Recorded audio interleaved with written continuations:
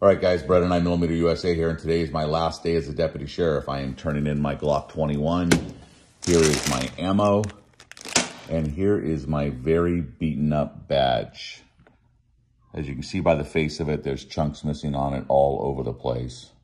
Also notice that all the ends of the badges are all tweaked and turned and bent. That's from years and years of wearing it and being in years and years of fights. And this is what happens when you uh, are a deputy and you get attacked or you have to use force on somebody. All of your gear gets bent up.